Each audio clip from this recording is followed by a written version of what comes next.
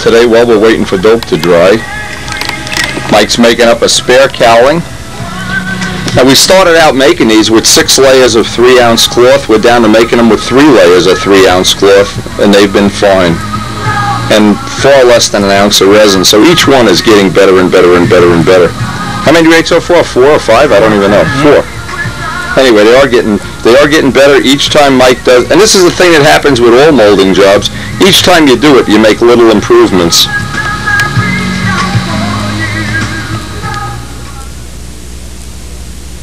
What we're going to try to do with Mike's crutch, this the crutch was actually made originally for a Tiger 60, but we know they interchange because we've had this same motor in tradition. We made the tank shim up, but what we want to do is cut the back out of the bulkhead so we can allow for, if we're going to need bigger than a four ounce tank, a four ounce tank will fit in there, maybe this will allow for a five. It'll avoid that we have to make some kind of custom tank. So the first thing we're going to do is get four holes cut in here. I guess we could take that out with a Dremel tool even. Yeah. Now, I wanted that piece in there. I didn't want to cut the hole before we made the crutch, just so we'd have some integrity while we were gluing everything up. But now that it's all it's all nice and solid, we can cut that piece out. So, and this would apply to any plane that you want to convert to a four-stroke. The same, all the same little things would be appropriate. We made an eight-inch nose. A, mu- it's a much shorter than a stock nose, but we have to allow for a little bit extra gas tank room. We, yeah, this was a little awkward. We dremeled it out. Mike's got a nail file in there. He's going to try to make a, uh, a smooth edge because we don't want to have a little lip on the end where when you put, go to pull a tank out, it's a problem.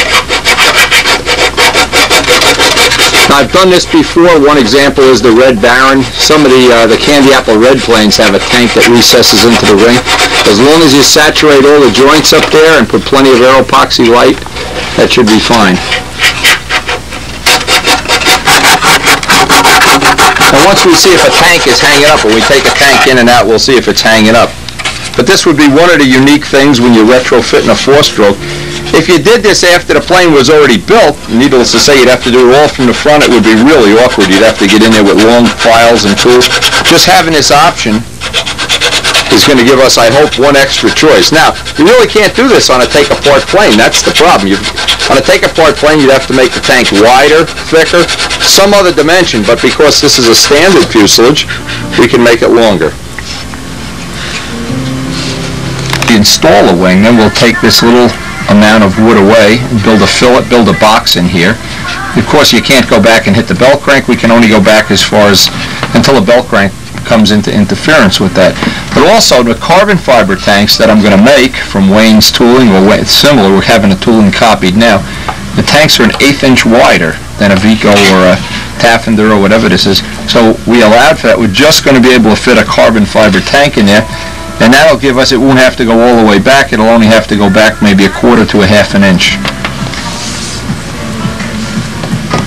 Now what we did, we took the Saito linkage off and it comes right off with one Allen set screw. We plotted down roughly where this is going to be from the top and then from the height off the motor mounts and that's our starting point for cutting that recess in the plywood. Actually, of all the retrofitting things you have to do, it's making allowances for this. Now, whether you're going to use a a some kind of throttle manual thing or you're going to improvise, or if you're going to, in this case, one of the things I know you can do is make a bracket down here so that this whole thing swings off to the middle of the motor. But then what happens is then you've got to use, it's all custom stuff, and I really want to use totally stock motors.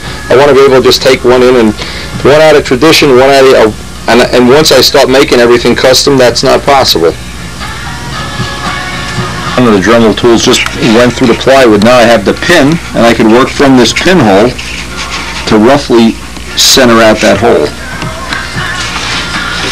This is just a pilot hole. This is not the final hole we're going to need. What happened, that fit in there so nice and tight. It's a beautiful fit, and it fits right into the 60 mount. We don't even need bolts to hold it in. Mike's thinking we could run it without bolts. I had to elongate the hole now. Now we're gonna we're gonna set that up for the the little throttle linkage next. Yeah, that's a good fit.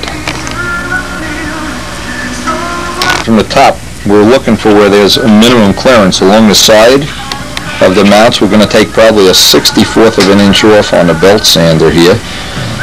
Just so we have, it's such a nice tight fit into a Tiger 60 mount. And the front hole actually lines up, so it's just going to be that we're going to have to half moon that back hole. It's actually, the hardest part of the whole retrofit is coming up with this hole in the right spot. Okay, so next thing we got to get some, we want to get the engine actually bolted in place before we go any further. I'm going to take a little bit of material off the edges of those mounts and then line up the front hole. In the back hole, just a little bit of a half moon and that's it.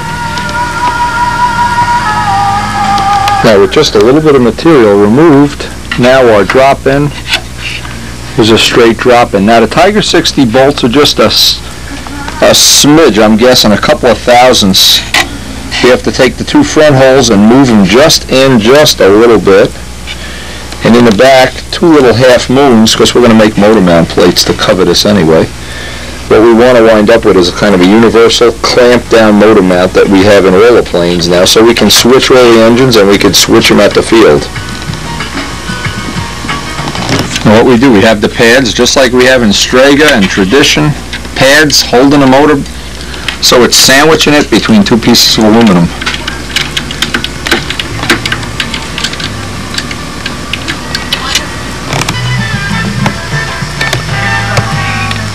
Okay, the next thing we're going to do is open up this side so that we can have that throttle linkage in there. And I, I guess we're just, with this, since we're doing this for the first time, we're trying to figure out logical steps. So somebody else that's building a Cardinal and they want to use this type of installation, they can just go step by step by step. Button point, I just laid out both halves of this, roughly 90 degrees. This piece isn't on here. And that, and we can connect this now. So this would be roughly the outline. Easy part, just dremeling it out, but we, because we're trying to figure out how we want to make that linkage. That linkage, we haven't got that part of it figured out yet. But we know we need that hole, and I'm thinking of making a little bit of a scoop or a, like a blister on the side that would come off with one 440 screw when you want to access this, just to make it a nice clean installation laid out the, the trajectory for the needle valve opening too while we have this making all these little fine tooth adjustments here. Know how far this is actually going to wind up going until you put it on. But we need to make a pattern when we finish this so we can pass this along to other people. What I'm, I'm guessing, see because you can make full throttle any place, that you'd never want to run it at 1 8 throttle, so that would be fine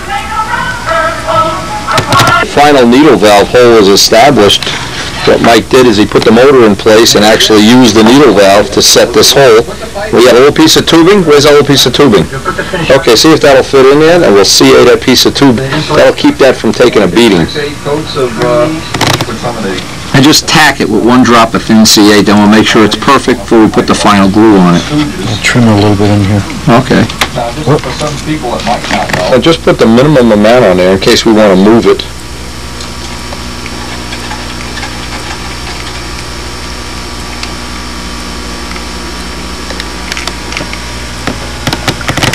Now, unfortunately, Mike wasn't watching his bagel.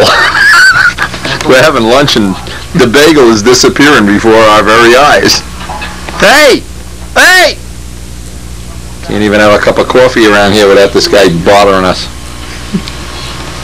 Anyway, this really worked out nice. This gives us exactly, I can't turn it now because I have a rag, a little piece of towel in there. And we have a little piece of copper around the edge here for the needle valve hole. We'll make the little end on that later. The next thing Mike is going to do, take the motor out, and we're going to put some pieces of 16th plywood, let's just strips along the inside here, so we can build an edge, because then we can glue the cowling in place, or put the cow, we'll put the cowling screws, and then dress this edge off. This is going to have a curve in it when we're done. So we need to put some little reinforcements. 16 plywood will probably be good on that this edge off, just so it's easier to get in and out with the motor. It's a little bit a little bit different than setting up a two-cycle or even a pipe motor. With a pipe motor, you got to deal with all these clearances and tank. And this one has its own little things. Now we're going to put these pieces. I'm going to make light ply on this, but the, the primary grain is going front to back.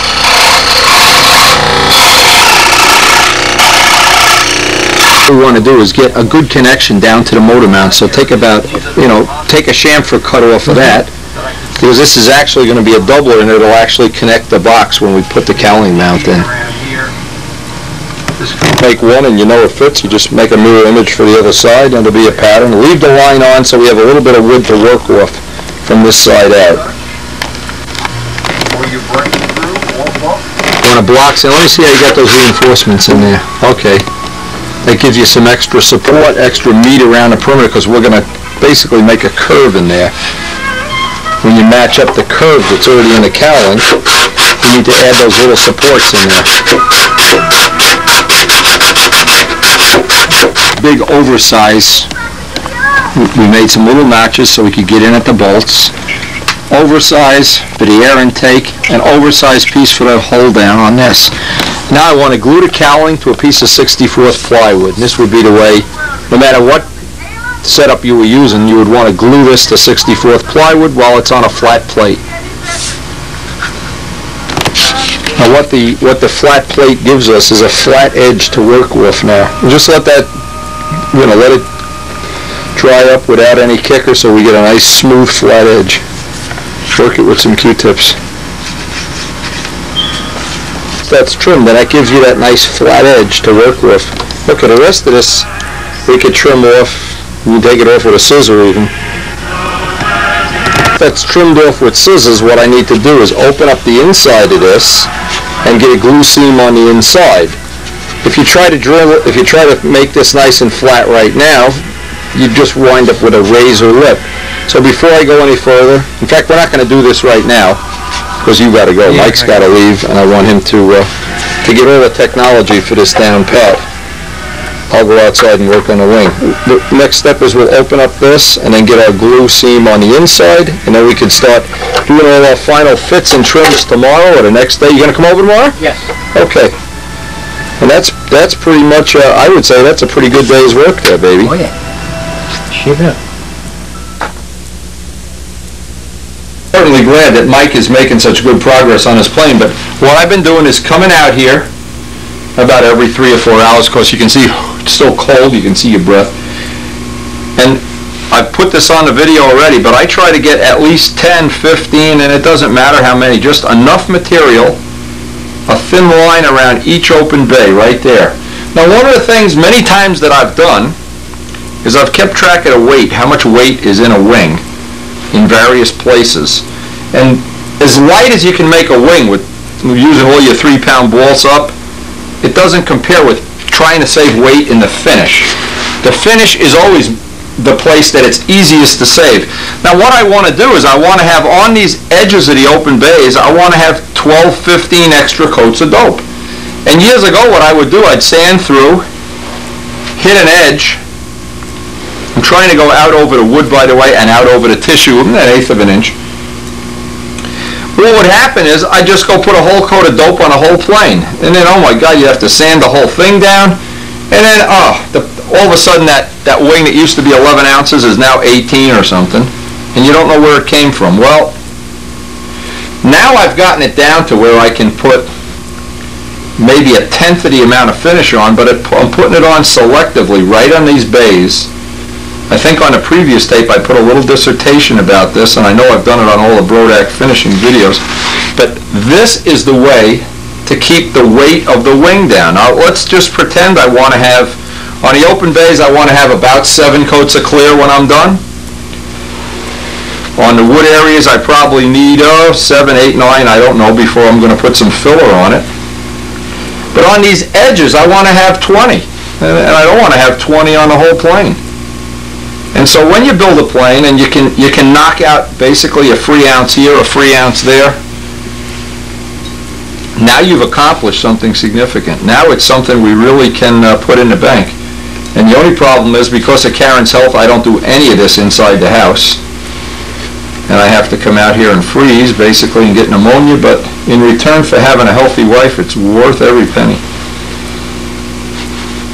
But this is what I'll do now. I'll go around the whole wing and I'll do this maybe eight to ten times.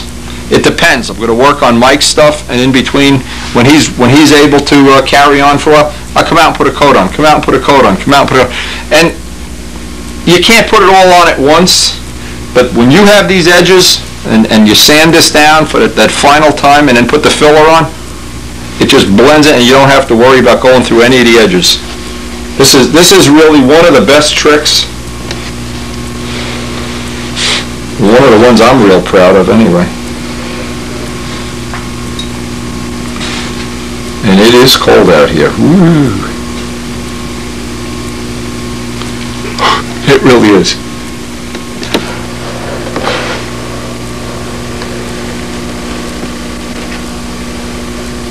Now, when that dries, you won't even see that it's there, and that, of course, is the test.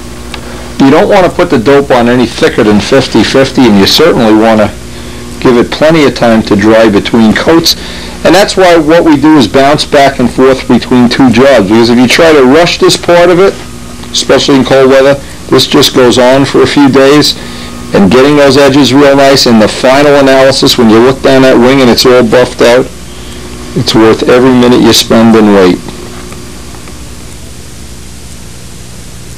Back to work on Mike's fuse. Just dremeling out some of the plywood edges. We're gonna start fitting this up.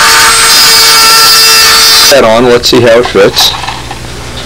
See, what we did is we made a mirror image of this piece is just 64th plywood that we glued it onto. That's gonna be the base for all our, the bolt holes that we're gonna use. Now you can almost look through and see where the valve covers are gonna come through, so what we're doing, we're just gonna trim out just a little bit of this, because we want the valve covers to come through here, and we wanna cut a cooling hole, of course. But even with that extra wood on there, that fit, yeah, pretty nice. Like roughly where the valve covers are gonna come through, so Mike can go through there with the Dremel.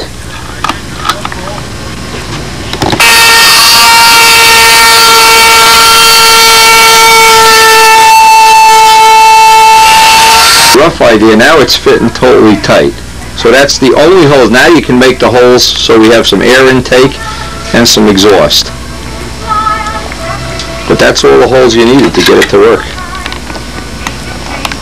Now we're just trying to use some tape to kind of line up what we think should be the air intake part of this. Now we're trying to make sure we can access the glow plug see is going to need a you're going to need a notch in here. Means we want to get the cowling bolt right down in here right now. We'll allow for this, but the cowling bolt's got to go right down in there. Old material cut away, we can see what we can do is we can actually put two cowling bolts in there, which would be nice. We outlined everything in tape because we want to take, don't take any chance this is going to overheat. And we have plenty of air going in the, the front scoops. But it's always easy, no matter what size or shape you make this, because on a two-cycle you'd have to choke it, that you can just outline it with tape first.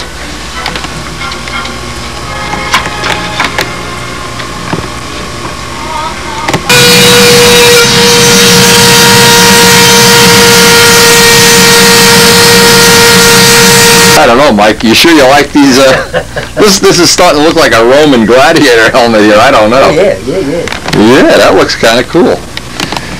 Okay, now I don't know how much more time we're going to have in this session, but we got to get the blind nuts in next. That's going to be the next thing.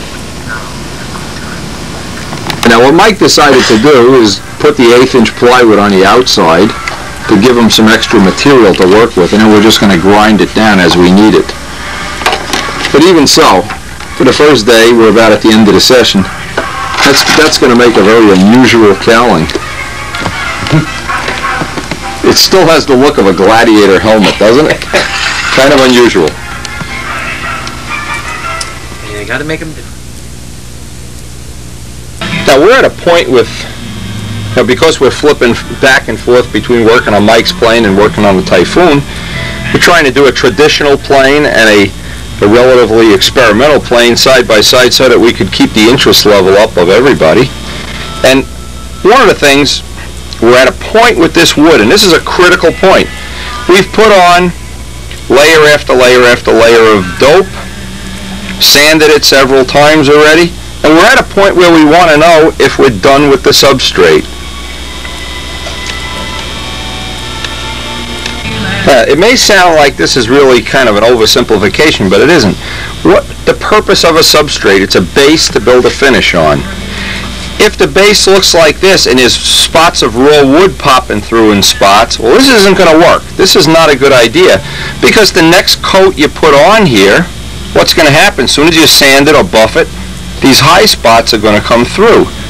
So I don't know how to really define how thick to make it in terms of how many coats or how thick if you could if there were a way to measure it with a micrometer. But but a good overall way to look at it is you'd like to have and and just for the sake of argument, this is the raw wood. You'd like to have an even, relatively even cover with no high spots showing through. And soon as the high spots stop showing through, you've got a substrate.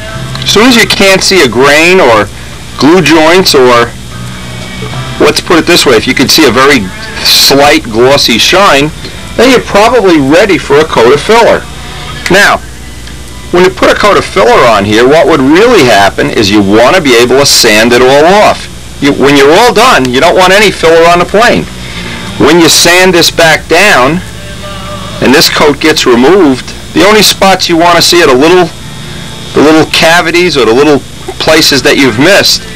The one thing you don't want to have is a whole coat of, whether you use silver or another color. And we're going to do a little experiment here. I don't know if this is going to work the way I want, but it's time to do a little experiment anyway. But before I can go into any filler at all, I don't want any raw wood showing or any high spots or any low spots. I want all the wood to be relatively smoothly covered what's handy about having these little small spots, these small pieces, because this can act as your little sounding board, a little test board. When I sand this, and again, it doesn't really matter. You can't define it in terms of how many coats, but you can see there's a little bit of a gloss on there. Let's see if we can candle that. A little bit of a gloss. Then when I sand this down, do I hit any raw wood spots? If I don't hit any raw wood spots, it's probably safe to assume I'm ready for my first coat of filler. Now, a lot of people, Billy Simons for one, they used to do the whole finish without filler. They just put coat after coat of clear dope on, and they achieved some really nice finishes. The problem I, I saw that way is you needed more and more coats. See how nice that powder's off? What we're trying to do is minimize the labor on this. So what I'm going to do from this point on, I'll get everything smooth. I know there's no raw wood spots showing. I've got everything knocked down as smooth as I can. And what I'm going to do, I'm going to mix up a coat of filler coat, and I'm going to spray it. Now, I'm not going to brush it. I'm going to spray it. And what I'm going to do for a test, because this airplane is going to be almost, well, maybe one-third, two-thirds gray, I'm going to use the Brodak Platinum Gray, and mix kind of a test filler instead of silver. Now silver shows the flaws a lot more. It's better for showing mistakes, but because I can use the gray that'll actually be underneath as filler to build up a little bit of the coverage in spots where I, where I think it will have a tendency to show through, I think I can save a little bit of weight because normally you don't ever see the, the silver that you paint the last coat on if I do a gray filler, one coat, sand it off, find all the flaws, or put two coats on. I don't know how many coats of filler I'm going to need to find the flaws. And then put on a very, very thin coat of platinum gray. What I think it's going to allow me to do, and this is just a test. We're really doing a test, and if we're not happy, we'll go and put a coat of silver on, is I'll have, rather than that coat of silver, which is a significant amount of weight it'll be gray, and any that stays on there will tend to build up the coloration in the model so that I won't need as much gray in the final coat that's going to be the painted coat of the model. And because it's a camo job, this will have a camo uh, look to it, that the gray is going to be one of the colors that I, am what I'm trying to do is save one of the steps, not for the labor involved, but to save the weight of having the silver on there and having to cover it with gray. I'm actually trying to save one coat of colored paint. And the nice part is I don't know if this is going to work. A lot of people take, and, and I've done it so many times in the past, I know exactly what what the feeling is when you're doing it. You get this really nice surface, and let's say this, in this case, it's a, uh, you know, a wing, a tail, whatever. And then you, you go into what I call decoupage mode. Decoupage means that you're starting to build up layer after layer of paint without sanding it down. And yeah, it does look beautiful. And many models that have been in the front row look beautiful. But but by not sanding it down, what you wind up with is this little flaw that you were trying to fill in. You wind up adding all these coats of weight.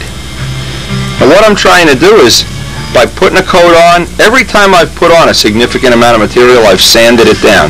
Percent. When I'm done, I don't have decoupage. I have my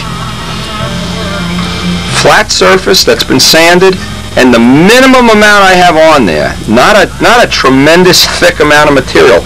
And this is the weight saving. This is the part that many, many planes have, have turned from what could be very competitive weights to just just terribly heavy, and as they get heavy, they get tail heavy. So this part is the real labor intensive part to get that very thin, thin substrate.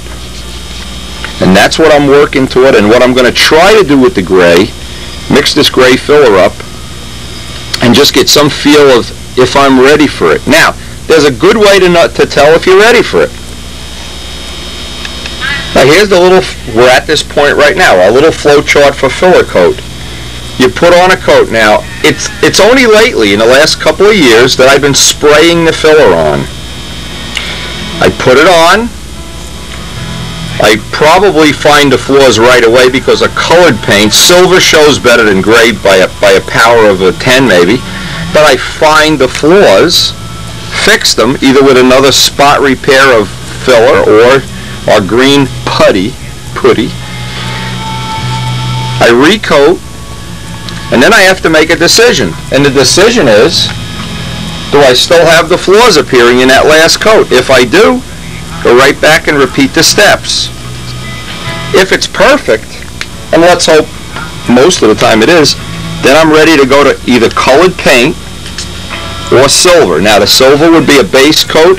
If you're going to do white, any light color, yellow, reds, you want to have a base coat of silver. You don't want to go from filler, no matter what color it is, right up.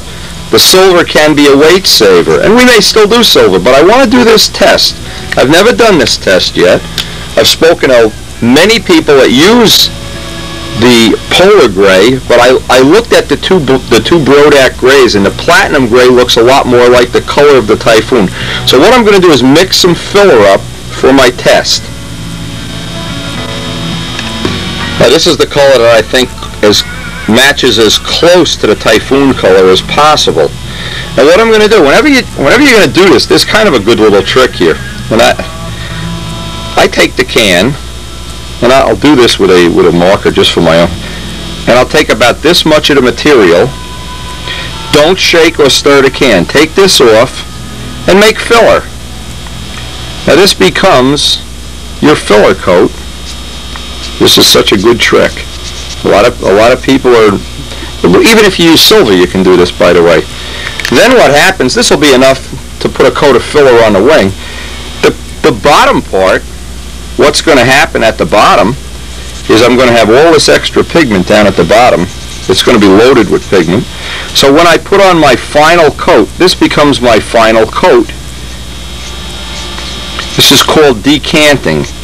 When you use the extra pigment at the bottom in this last, so what I'll do is after I pour this off and make filler, I'll just put thinner in for this amount, and this will be my final coat, will already be in the can. My filler, the way I mix filler with this, very easy. I pour this top this top half off. Take that mix, and it's going to be, in this case, it's going to be the, the platinum gray. So it'll be 50% platinum gray, 50% thinner, and then I'm just going to dump in maybe a 4 ounce jar of talc, but it's not critical. I'm going to pour the talc in. Now you have this mix. You need to shake it up real good, homogenize it, and then you let it stand for five minutes. And this is such a such a cute little way of doing it, but it works every time. Now, five minutes. At the end of five minutes, what's going to happen is a lot of the talc is going to settle down at the bottom. but some is going to stay in suspension just a little bit. And what stays in suspension is what you want to spray. So what I do then is, this will more or less be like jello at the bottom. I'll pour off this, and this is my filler ready to spray. And this is the, a great little way of mixing this up. It works every time. Now, what I found also is if I'm going to spray, try to spray at 20. On my compressor, I can get it around 20. And what I like to do is, if it won't spray at 20, and, and I've been trying, I've been keeping my oldest gun for filler and silver and Brodak primer. I have a gun that I just use for all the thick things I have to spray. If it won't spray, I'll add a little thinner. Just a little bit, maybe 10%. But then if it won't, and I have to go to 25, I know I'm going to be getting a relatively heavy coat. It's really nice. At least I've found I can get that real thin veneer coat at about 20 pounds. One final thing, when I'm sanding out this panel, and I'm going to be sanding flat areas, I'm very careful. I'm going to try to use four or maybe even 500 paper for the final sand out before the filler. And I'll be real careful. Notice I haven't gone out over the open bays. I like to just really be careful because what I've done over and over and over, and you don't see it on the tape, but I've done about nine or ten coats so far, is just those edges. And I just want to sand enough to get out any brush marks that may still be in there. But by doing that, I'll do a final test this will probably wind up with, if I could sand it out with 500, it'll, the first coat of filler will just fill right in. Now, previous to this also, what I used to do is I would only put, I would never put filler in the open bays. But since I've been spraying filler instead of brushing it, the reason was you could never sand the brush marks out of the open bays. When I spray it, what I'm going to do, I'm going to spray the whole thing, wing panels and all, we did it on Mike's plane and it worked really well. We've done it on a couple other test planes. I'm going to let the filler go right out over the open bays. I've never done that in the past, and the reason was that I wanted to keep, I didn't want to have as many brush marks here. There was always a reason to try to keep the brush marks down and the sanding around the edges. But because we're spraying the filler now, this, this seems to work pretty well. And these are all good tips. Just a couple of things that I think will help you. If you see you're getting powder off, you know that dope is plenty dry, and this has been drying an extra day anyway. And this is what I like about flip-flopping back and forth between two projects, because otherwise you're prone to want to work on it every day. But it's inevitable, at least if you're going to sand as much as I do, and I think it's in the gross amounts of sanding that, that I manage to get these finishes down to a, the, around the 7 ounce range anyway where most people have an extra ounce of dope on. Now, when you sand through, it's inevitable you're going to sand through. If you think you're not going to sand through, it probably means you have too much paint on. What I do is I just put a very thin amount of CA on with a Q-tip first. No kicker, because I don't want that to bubble up. Let that dry a few minutes and sand it through it. If you're not going through in little spots, it probably means you put too much dope on good chance you're going to have too much dope on.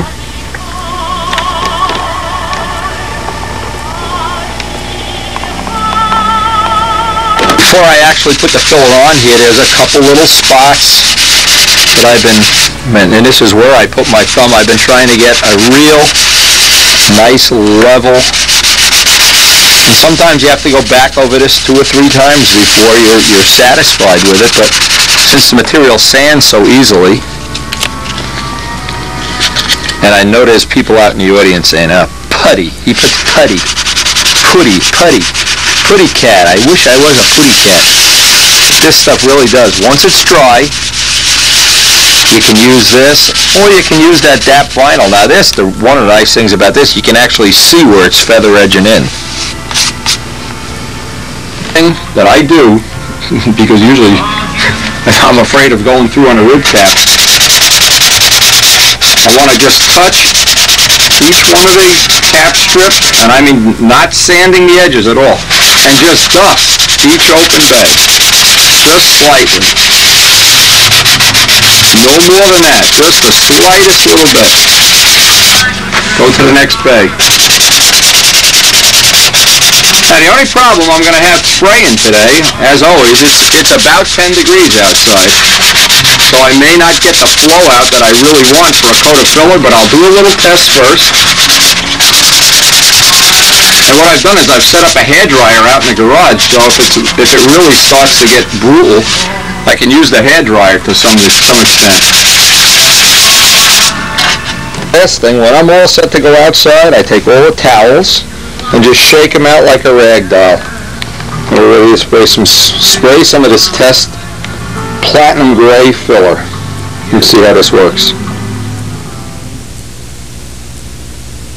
Point on, anytime I'm gonna spray this, I'm using M600, I wanna do a thorough cleaning because I don't wanna start trapping fingerprints in here and in the final finish start to see those little, they look like fish eyes, I don't know See, some people have really clean, nice, neat hands. This might not really be necessary. But when you have a high oil content, or if you're working with machinery typically, or uh, who knows what, robbing banks, I guess you don't get this kind of stuff on your hands. I want to thoroughly clean it. And this is going to be a real test of uh, will we get this dope to dry in this cold of a temperature. I can see just basically what the little little lines around the ribs are, so I know I haven't sanded real close on them.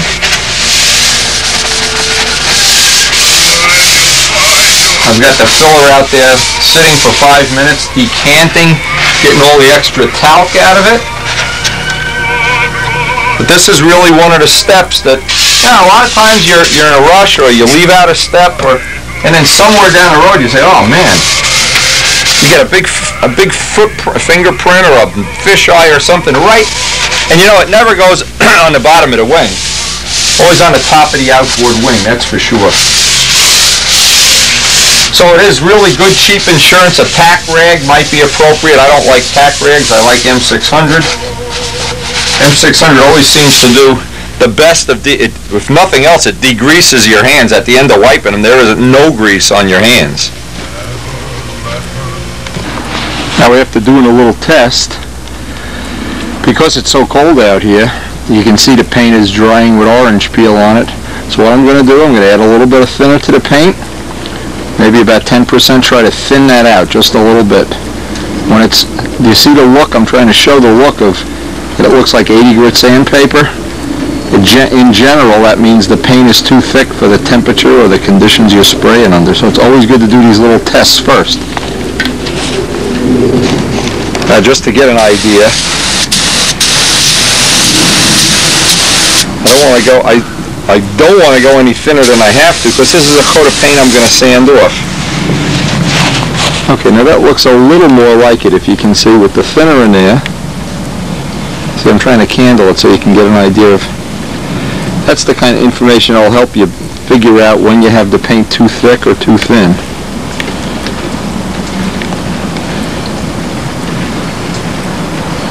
Now that looks about right. There's no orange peel in there. That looks just about how I want it. Of course, this is going to dry and I'm going to sand it off, but in this real cold temperature, this is going to definitely take a long time to dry. Anyway, that's what we're looking to achieve right there.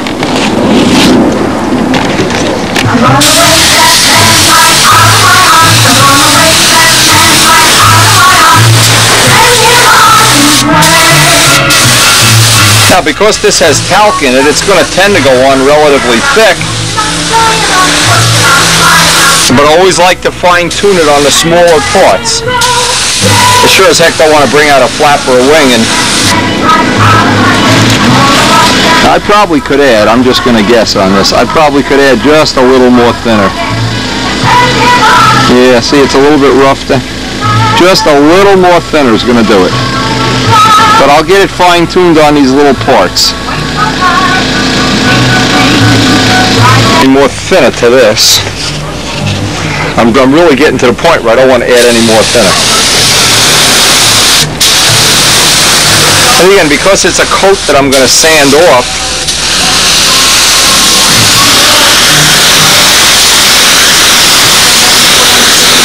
See, with the talc, it really goes on, and you sure don't want to use your new gun that you're going to use clear on.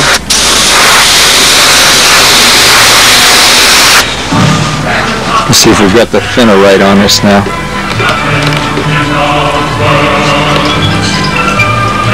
Yeah, still a little thick, but because it's real, well, because it's really cold out here, I don't want to get any more than that.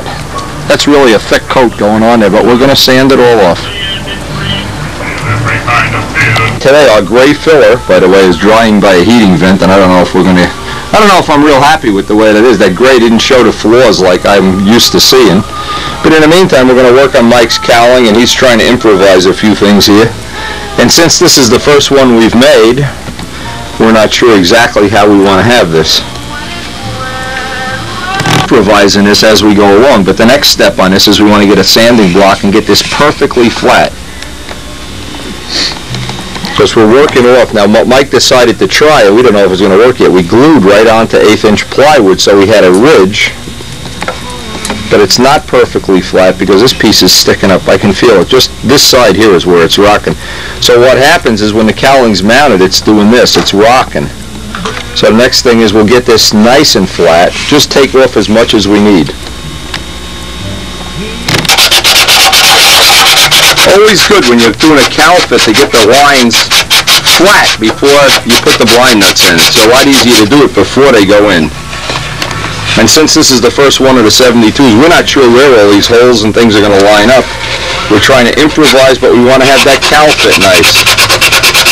Now, even if this doesn't work out and Mike wants to change it, we have another cowl in the mold. Then we got two cowls over here. So by having a mold, we still have a lot of choices. We're not, we're not, it's not like when you carve a block and you go too far and all of a sudden, oh, I got to start from scratch. Gives us a lot of choices to glue the blind nuts, and the idea was to get the blind nuts as far apart as possible and as close. We don't want the blind nuts in the back because then the cowling's going to tend to do that, and we're hoping we're not going to have to put pieces up here. By moving these a little further down, and on a four cycle you have that room, see, eventually we'll have patterns for all this, but we need to find out how far we can go, and they're not, they're not, right now we don't know exactly where these are going to wind up.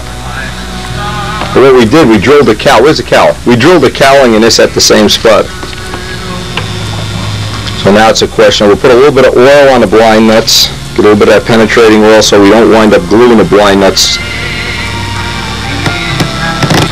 Okay, and we're using nice big fat fender washers to hold that in place while we suck up the blind nuts. These holes are going to line up, and we made all the plywood oversized because we drilled it at the same time while everything was parallel. You got it bolted in. Now that it's bolted in solid, we can dress all these edges off. You can start block sanding that hole, all the flats in, and get the final shape up on the nose. The last thing we'll do is cut the hole for the muffler. Mm-hmm. Mike found out that the roll of sandpaper just matches. Now that's a great little trick. That roll of sandpaper just, he thinks he's so cute. Comes up with these inventions. We actually were just getting that, we're roughing in the curve before we cut the hole for the muffler. Works pretty well, huh? Yeah. Now, whenever you do a cowling like this, the thing you always want to do is you want to make put the cowling in place and then make the fuselage fit the cowling. You never want to make the cowling because the cowling is paper thin and the fuselage side is an eighth of an inch. So you blend the fuselage side to meet the cowl, not the reverse. And that's always the easiest way to do it. Last things that's different about doing a four cycle is laying out, and we don't know where it's going to go yet, laying out the muffler hole. I wanted to have one of those air vents come right through so that we wouldn't have to take the muffler off when we when we take the motor out of the plane. We could take the, the motor with the muffler still attached right out of the plane in one piece. After a nice mild sanding, I guess you leave your impression on there. Okay, that blended right in, as, as well as you can expect. The main thing is you can't feel the joint because we're in a curve here. Okay, next step, let's put the engine in, let's, we're gonna elongate this back to include the muffler hole. Mm-hmm. Yeah, it looks nice with the motor in there. In our quest here, we're gonna try, I know they make longer glow drivers, see, because we're just gonna put a little bit of a notch in the back here. But it looks like this would interfere, so we gotta use the longer, because this is such a tall cowling and motor. So we'll put the little half moon in there, but Mike's gonna have to get one of the longer, or you're gonna have to make an extension up, that's all, we just make an extension. Yeah.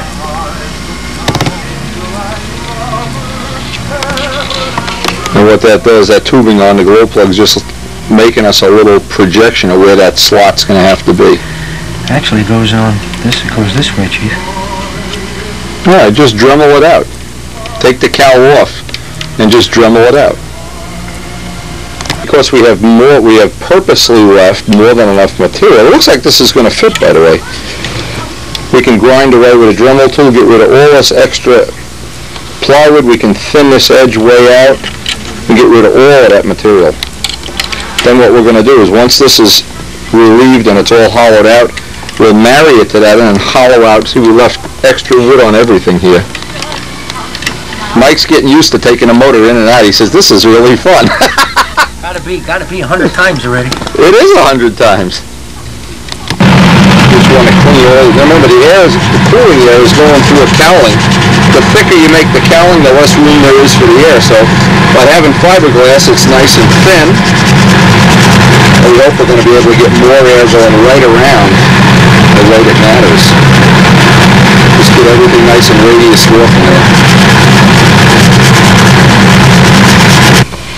Put the bolts in. We got to fix the washer it fell off. Put, and then we'll trace out the edge so I can match the edges so we have an exact fit there and I can Dremel the rest of that away while you're sanding and cowling.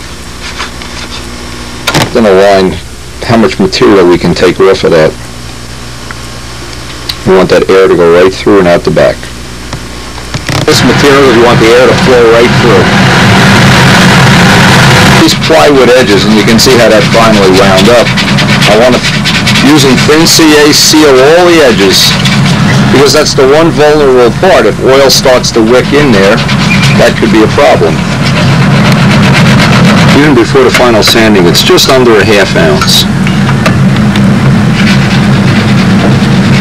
Now, we're going to get all of these edges sealed, and I want to build a little, a little radius right inside of there.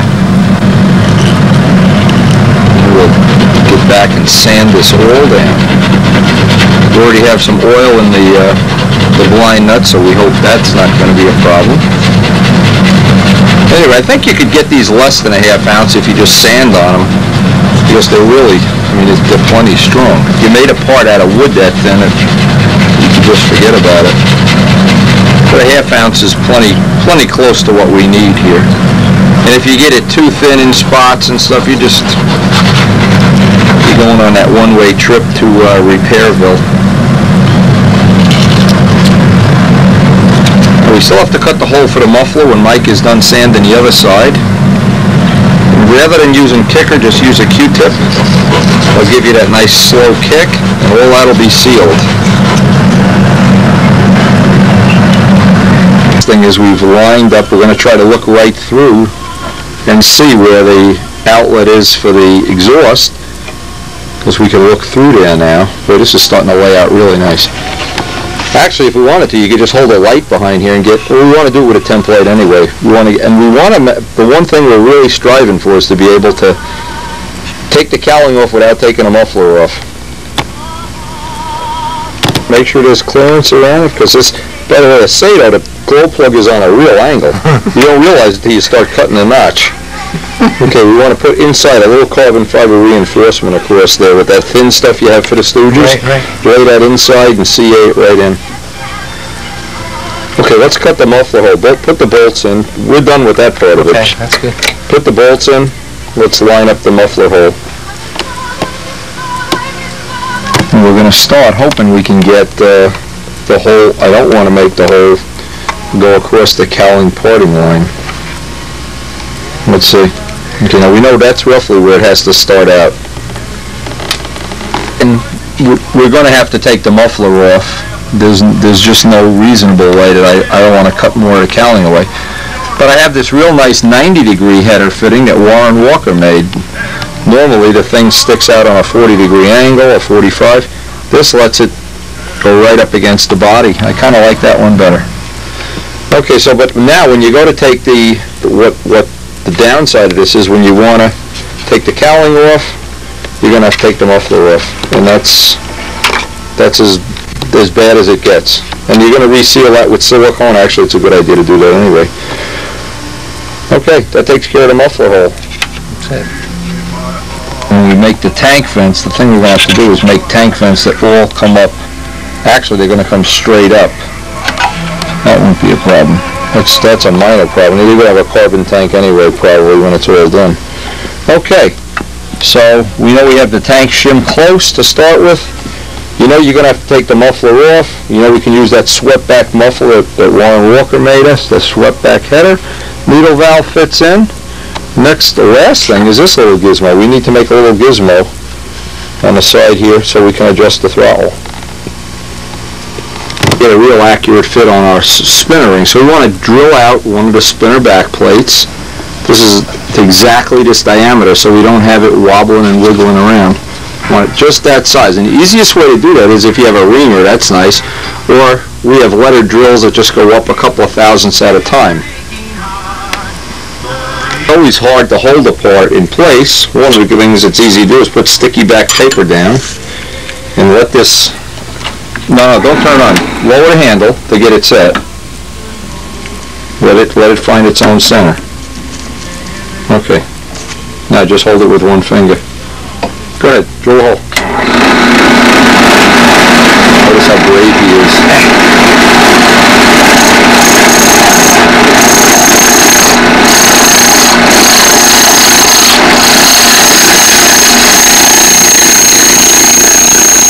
sandpaper holds it in place from spinning in your hand. Ah, you're a man, you're a genius. That's a great little tip. Now, we'll go to the next drill size, the next drill size. We're going up a few thousandths at a time with our letter drills. If you try to do it all in one piece, the hole usually doesn't stay on center. That incredibly tight fit, zero clearance, that's on there nice. Now we're just gonna get the shim behind here. And we could do that with anything eighth inch white ply, 16 plywood, whatever the thickness is you need to go to build that right up to the spinner. Try to set up because we don't know which spinner we're going to ultimately use. The plastic ones have a different relief in the back. And the, the aluminum ones, of course, and some will even have old. We want to be able to use as many different spinner choices as possible, so we need to make a decision before we set that nose ring in place. We did, we took one of these just to hold the back plate in place, because Mike's gonna make a ply, uh, light ply ring around here. The reason we're using light ply is if we decide to use a plastic spinner later on, we just need to sand away the light ply, and the difference is about a sixteenth of an inch. All right, now you can just make up light ply pieces. Make sure you keep clearance on this, and then we'll take this off, put some sticky back sandpaper on the back of this, and just do this.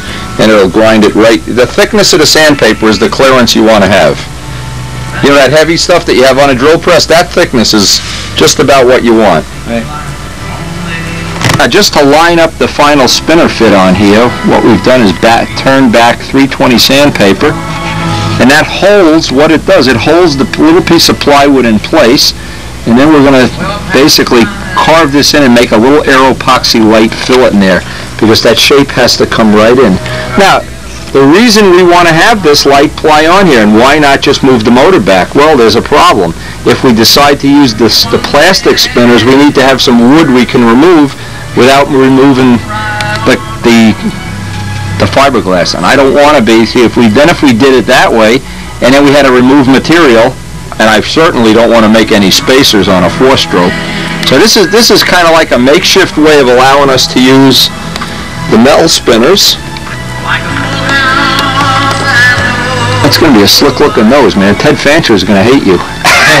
You've out Tedded Ted here. This thing is always with these kind of things is use your spacer and get, I just have some CA drying up there now. Just a couple of drops, let it dry. Then I can take it out and run the sandpaper around the whole perimeter, make sure I have that set. Having that sandpaper go around, I know I have good clearance around the whole spinner ring. Now, I always make these, I'm going to have Mike do this as soon as he gets back. Oversize, put the spinner in place with some masking tape on it, and then just take away the last, see, we've left the, the pencil line on the pen line. Always make it oversized and just blend it right in.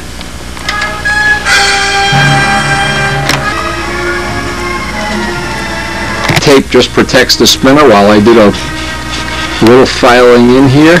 And then if I need, I can build a little ridge of aero epoxy white in there.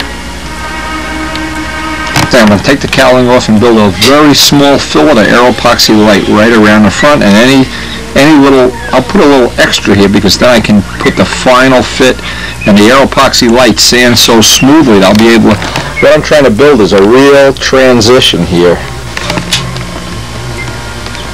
We're mixing up the air epoxy, two to one of course, doing it by weight on a gram scale.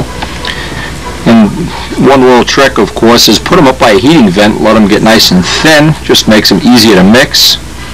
In this case, in a mix, of course, stir each tub independently before you mix them together. Now, of all the problems people have had with air epoxy light, I'll, I'll go through these real quick. We had one person, one person only, used the little tube two parts to the big, the big tub one part. Didn't work, took three days to cure. Second one, they didn't mix it by weight, they mix it by eyeball like they're mixing five minute SIG epoxy. That isn't gonna work either. You gotta mix it with a gram scale. You gotta be accurate. Another person who will not go, not be named here, didn't take into account the weight of the cardboard, which was about 15 grams. So we we basically had some real quick drying. And you don't want to go at either end. You don't want too much hardener, and you don't want, you know, um, um, not enough. If you don't put enough hardener, it's going to take forever to dry. If you put too much, you lose some of the good properties of the air epoxy light. When you think it's stirred, it's real easy. Stir it two minutes more. And when you're ready to put it, put it up by a heating vent. We have a heating vent there. The heating vent will help kick it off. Leave it by a heating vent 24 hours, and it's ready to sand. Artist thing, I don't know what that's, a little artist spatula is handy for this. And the nice thing about the air epoxy light, you don't have to really get the exact shape you want because it sands so easily. That's one of the nice things that it does. It has that good ability to sand. We also have a little gap in here we're going to fill in with. And then we're going to try to make up the linkage for the throttle. I'm not sure exactly how I'm going to do that yet, I've been trying to put that off to the very end, thinking about it. But anyway, we've got all, basically all the hard work done now on the cowling. And in the next couple of sessions, we're going to be able to snap the plane together into a one-piece plane. Yeah. He's not waiting for that, is he? Nah. Just get, just get a rough shape. You don't have to be too cute about it. Once we get it, uh, Oh, this will go up by a heating vent now for 24 hours. Oh, for today, this session ends. We're going to do the linkage another day. We're kind of at the end of this session. But, and up, up here on the uh, TV, we have the, the cowling right by the heating vent. I'll put the fuselage up there. And that'll be it for today. This was my test. I thought I'd put this on tape. This was my test of the silver filler. Let's see if we can get it up there. Get up close. I don't know how close you can get. Yeah, eh? there you can start to see the texture because it's got a lot of talc in it, of course. But there's absolutely no brush lines, of course. Now, what I really wanted to see, and this is the test. It's been drying for two days.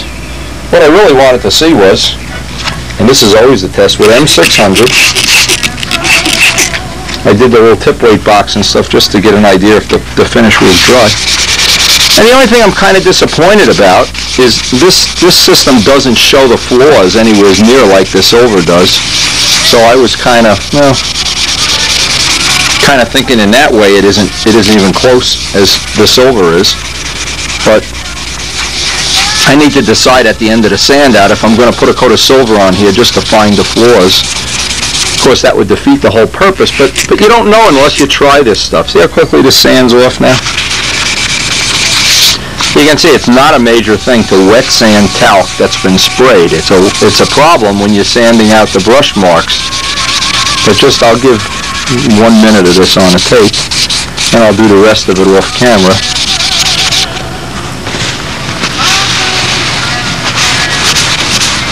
We want to use good ventilation, we use Sikkens M600. But that, that pretty much gives you a finish. That's, as far as I can tell, that's ready to paint. And if it looks real good, maybe I'll skip the silver. I have to decide at the end of the sand out, but in one way it was a successful test, in another way it was a little bit of a disappointment. It probably would be better to put a little black in with the gray, make it a darker color. See, it's, that's the traditional way was to do it in blue.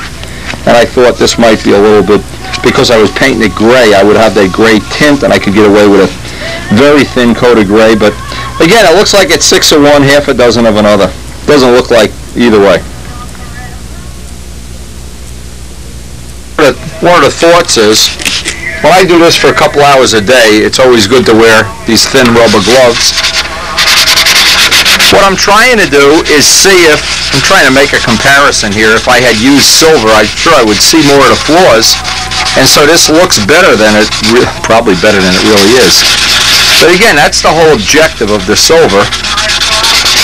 And, you know, this is, I've come to the conclusion I'm going to have to put a coat of silver on this to see if I've missed any spots. But there's a couple of thoughts that really make sense. It doesn't do you any good to put filler on and not sand any off. You add too much weight. And if you sand it all off, well, I don't know if you did exactly, you know, something that you really wanted to do. It's hard to understand. Again, I'm trying to take each and very gently, and I mean gently, due to open bays. I'll do one on camera just so you can see it. It's not a grind it out and it's just getting the fuzz off. Soon as you see the fuzz coming through, remember that word from the 60s, the fuzz? Everything was the fuzz? Referring to law enforcement, the fuzz. Anyway, when you see the police coming through here, let's see if we can get a little look at about how much of this we want to take off. Now see, this is why you would not want to do any filler in clear, because clear filler, you can't see where you're taking it off. The objective is, let's see if we can get some idea. A couple of things. When you see it's getting black like that, see if we get this. You know you what's happening is some of the material is going down. You've gotten a thin area, so you want to avoid that like the plague. But that's about the, the amount I would want to remove. And again, to sand down this whole wing is probably going to take the better part of a session of four or five hours. I'm just going to take my time. There's just no reasonable way you can rush this. I'm doing my candling operation because I want to see if, I haven't sanded in the tissue bays yet, but on this side, I want to make sure I'm not sanding too much off either. And I'm ready for, you know, what may even be a final coat of silver if I don't see any major flaws, just by looking at the way the light reflects. And you sure wouldn't want to put any silver on until you have a little bit of a gloss coming from the base coat. This side is done, just to get some idea of what this, how much we've gotten off out of a bay. And the relocation of Amtrak trains at Bendix. Well, for us, it's the end of the Christmas season. We're gonna take down the tree today. We've had a great Christmas, great time with our family, great time modeling, great time working with Mike Kajeski. And like everything good, when it ends, you're a little sad, but uh, we hope you've enjoyed sharing it with us. It's been a typhoon kind of winter, lots of snow, very cold, a lot of nice warm afternoons in the shop drinking coffee and eating pizza. And we're gonna miss the tree. I'm always a little sad when I have to take my village apart. Some, something about having the trains under the tree, I don't know what it is. It's a little special.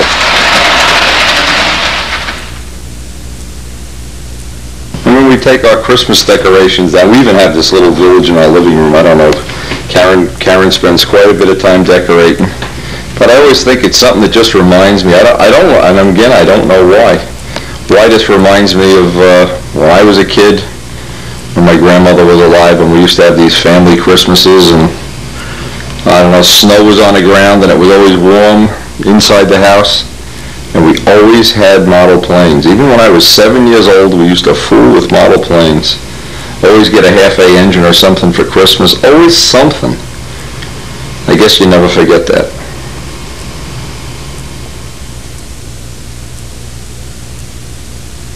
Anyway, yesterday when I sanded all these parts down, and I wanted to make sure I showed carefully just how much filler I left on. because somebody else might want to replicate my little experiment here.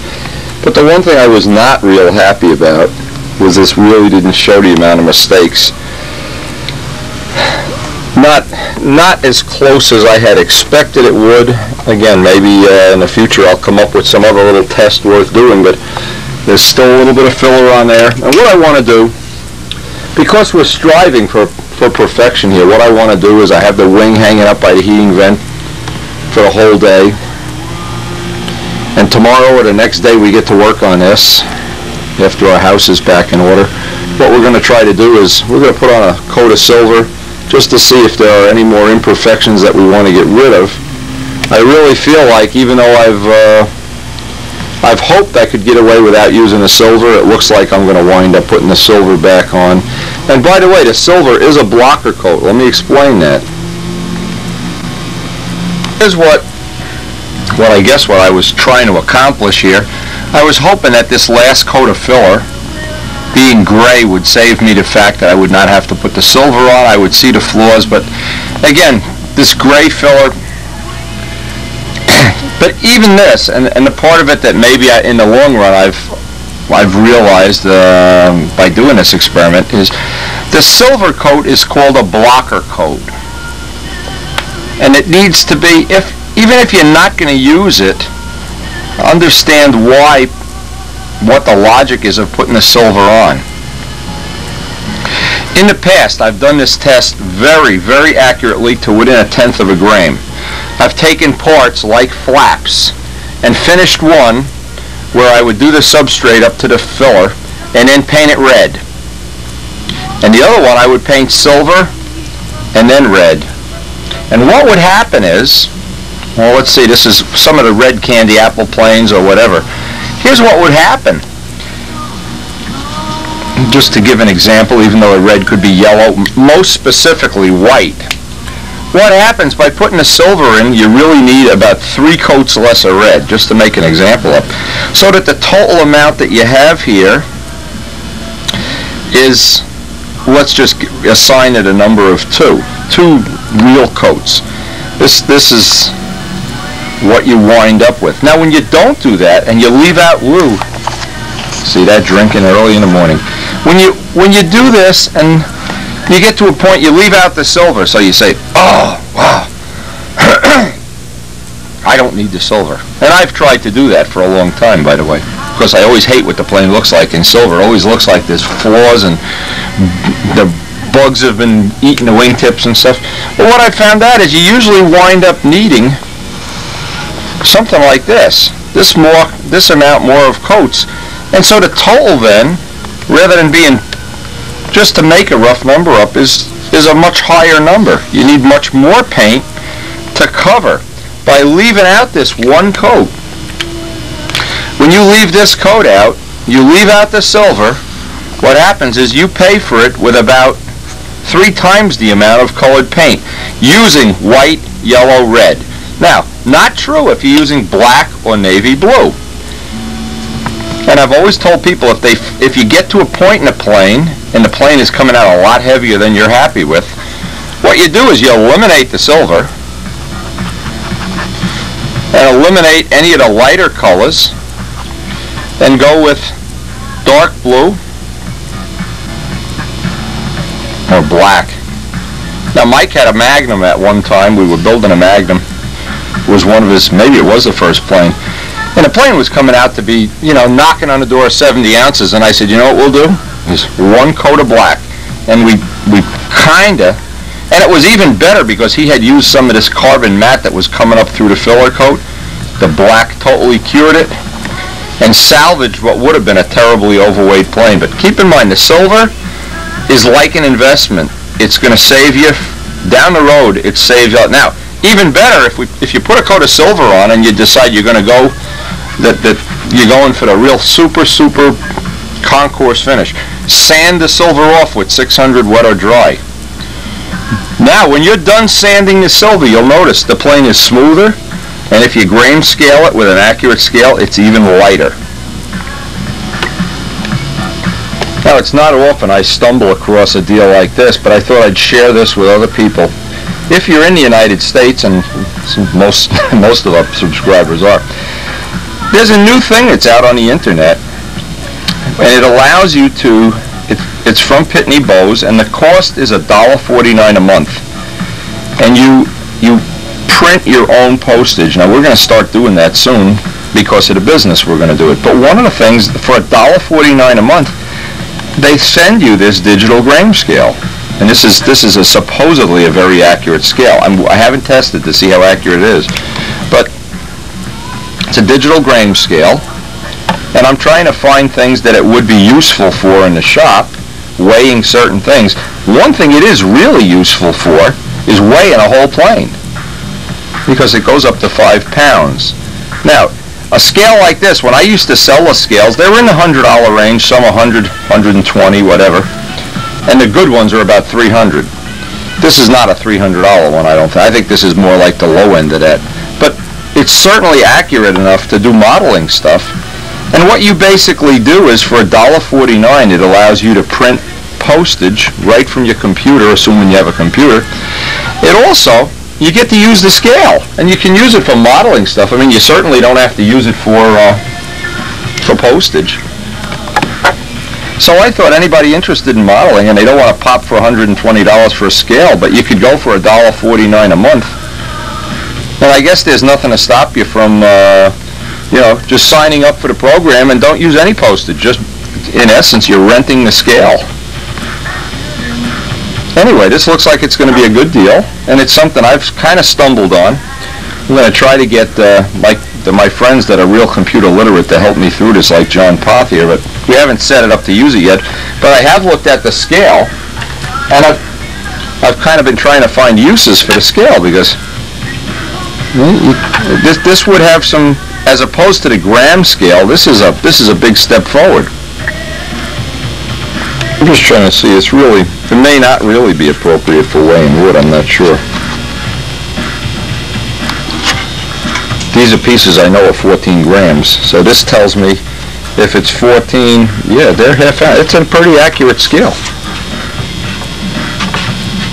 I wish you could figure out a way to get this to read in grams, that would be nice. Anyway, just, just one thought, if you're interested in renting a scale that looks like it would have some use, a buck 49, so he just pulls out the heavy one right away. I can picture there'll be some people that'll find a good use for this.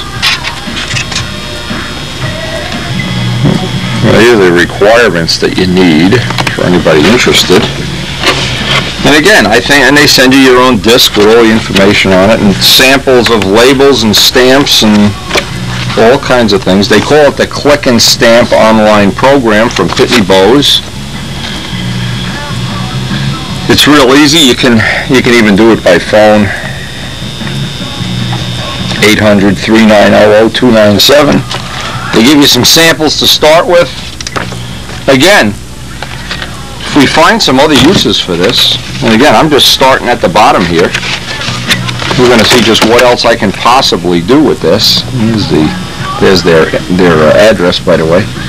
But look, they call it the click and stamp program, and you and you get to use their scale, which is looks like it's pretty accurate. For a buck forty-nine a month, doesn't seem like a bad deal.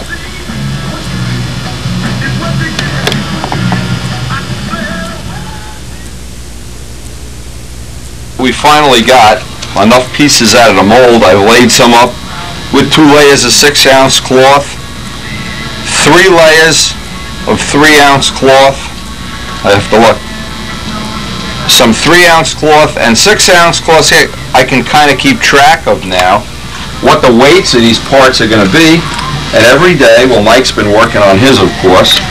That's about, when it's done and when you have the plywood in and the blind nuts and or the, uh, the air pie, it's still less than a half an ounce. And it still needs to be sanded, so I'm thinking you can get that down to about 12 grams. And every day we take out a, a cute little rubber mold, and as much, when you're making a mold, you think, oh man, that's just too much work making that mold. Once you have a mold made for your unique cowling, whether it's an impact, a Ted's plane, an SV11, and I just think, I just think every time, like when Mike's working on this, how much work you save by having a mold for your unique cowling. Or in this case, if you're buying a Cardinal kit or making one, just save the people 8, 10, 15 hours. And we have them all lined up here like little soldiers. This is the part I like. I can weigh them all out and see which, as we're, as we're perfecting the part, because usually it takes about 10, 15 times before you really get comfortable laying up a mold, which material to use, and we also, I've also thought about making them in the future with that Epon resin that needs to be post-cured. I probably could get them down to 10 grams then. It wouldn't be a big deal to do that, but for right now, that little Aeropoxy Light's already dry. When Mike gets here, the next time he's gonna work, I don't know if he's gonna work on this today, we'll get to fi- finalize this nose section. We'll be ready to, we're ready actually to do the silver if we had some weather. Just think of if somebody had made this molds for, for other designs, I know we have it for the Nobler, but how just, how many hundreds of hours people could have saved, and, and but basically, we're gonna be making one a day because we're selling these already, we've already sold two of them. And we're putting them in inventory, so they'll be ready for same-day ship out.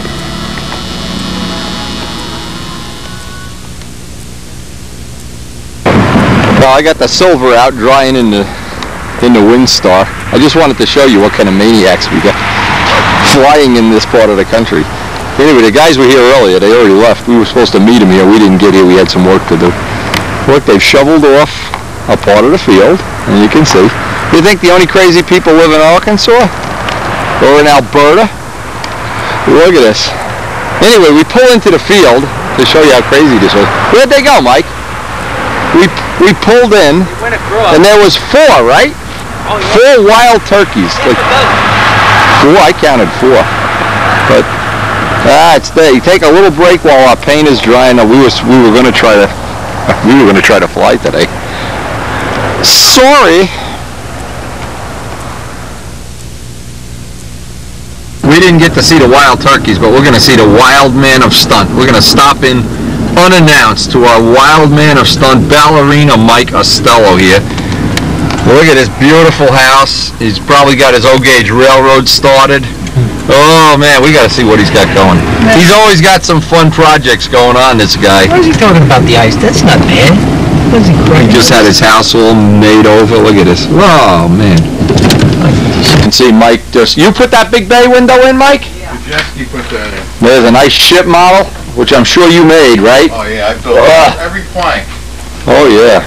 Mike, you're living large, all I can say to you, baby.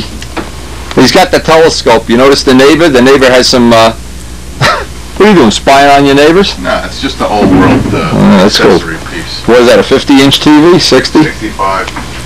You play windy videos on that all the time?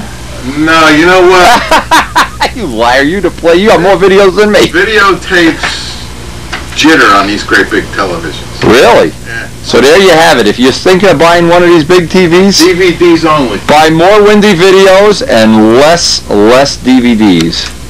That's the deal. Wow. You're like one of these guys from Europe that flies around the world with his plane in a box. Well, from Gerald Schamp. Look at this. Check it out. We could put Gerald Schamp in this box and fly him around the country. Fly him down Al Rabe's house. Wow. So what you got going on here, puppy? Well, that's, Show me something I haven't seen before. I don't know if you saw this. No, I haven't seen this one. What is this? It's a Banshee. Uh, Like a chief banshee or what? yeah, it's a, well, it's a spacewalker. Oh, I don't know what that is. I'm not into this old stuff. I like new stuff. Spacewall. Okay, it's like that SIG thing. Yeah. Yeah. Spacewalker 2. Jack Sheeks published a, a, a- Oh, okay. This is a little... Nice fillet up by the push rod there, Mr. Mike. That's pretty cool. I saw that. I copied somebody else. What's new? I think I saw that on a Brodak Cardinal video. What else you got? Cobra 7. Okay. This is the rest of that. It's a good thing we're not, we're not only videoing projects that are done, huh? No, when Be a very short video. It's, it's projects that are, Well, I only do two or three things a year, but I finish them. I don't finish anything. I start- Well, I'm glad you admit it. I Let's see the start- tail. The tail looks nice. Yeah, it's a decent. Yeah, that's cute. This is a Cobra? Cobra 7. It's like McLean's. This is Dietrich's, Dietrich's plane. Oh, okay. I always like Dietrich stuff. I thought we'd assemble this at your shop with, you know, Sure. put all the pieces together and it becomes an airplane in one afternoon. And you, you make the video camera go dunk, dunk, dunk with each rib. Yeah. Dunk, dunk, dunk. Well, we ain't gonna shoot a lot of video. I thought you'd have all kind of thing. I wanted to see your, the space for the train layout more than anything All else. right, well, that's in Our new club train in layout. the other area. Need to see this train la, we could get a run of trains in here, baby. Uh, it's already, Woo! it's not a good area. It gets cold. Not like it does in my garage. You think you got, you think you got ice on the roof here, you should see my garage. So when are we gonna start this club? Soon? You got a tentative meeting date? I got people wanna join. Uh, I- And I'm one of I them. family issues right now that have, Yeah, I know. This is our train room? no, this is my garage. Oh, well, the- who needs a garage? Leave your car out in the snow. You're Supposed to lose interest in cars when you grow up. Oh, it's heating here too. Oh, he's got heat. This long run here, Okay, this will be the new Mike Costello, Windy Urtnowski modular train layout. If you want to join this club, send a hundred dollars. then we can make a removable piece Yes. across here. Yeah, you need to, run- we all get inside the thing and snap the last piece in, and Then we're gonna, we're gonna run it this All I Get like it. this stuff. All of this is gonna, Yeah. Where's your office? We're gonna lose your office too. the office is, we're, we're Dump the office, get the office out of here. dumping the office. Here's Yeah. Oh, what do I see? A Saito 56? Look at this. Look, I honed right in on the Saito Well, it 56. didn't take much to divert his attention. Whoa! When Mike's not looking, we're gonna steal his Mike's train house I'll show you something else that I do with my spare time. See, I buy, I can't buy the road names I want. I know, you get them custom painted. Yeah, So, here's a nickel plate. yeah. Take 600 sandpaper and a little bit of uh, dishwater and you sand Yeah. that off. And then you get dry transfers. And then bada bing. Rock on. I'm so impressed. Did that myself. Yeah. Because I couldn't find anybody to send it out. The guys are wanting to start, see this, how this layout's coming out, you know, I'm trying to shoot this video for our future. Nothing to see. Well, guys, we've done absolutely nothing. Here, here, don't, don't, don't, don't stop running the tape. Here you go. What's he got? I only got a minute. Oh, look at this! This used to be his office. Start the trains up. Come on, I got a minute of video left. Look at this. This is the Mike Costello. Oh, I, I am humiliated. Unbelievable. Mike, you're an unbelievable guy. I don't care what Frank McMillan says about you. You are whack. We're going back to our shop. Wild turkeys, trains on the floor. Mike, you gotta make them some benches. You're a wild man, Mike. There's just no substitute for being completely insane. Oh, really? Wow, he's got the New Haven. Yeah. Oh, man. If my buddy Rory Tennyson saw how many trains you have, he would be so jealous. He's got more stuff. Mike, you have more shit than I've ever seen on the planet. I don't know anybody has more stuff than you. This is unbelievable. Bill Mazzoni doesn't have more stuff than this. Oh, and, and this is this is great. Instead of a Christmas tree, is Gerald Schamp's plane in the middle. of It doesn't get any better than this, does it? This is the world of model aviation. Wow.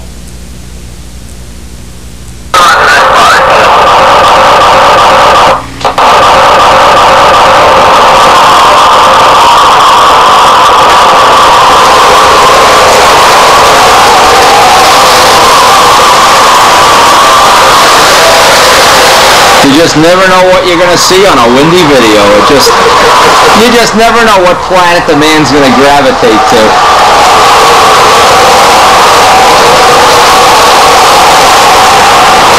Better than my Christmas tree, Mike.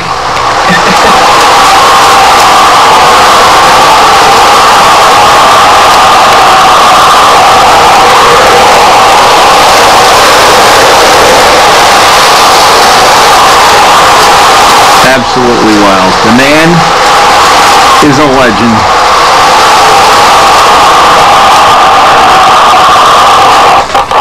What?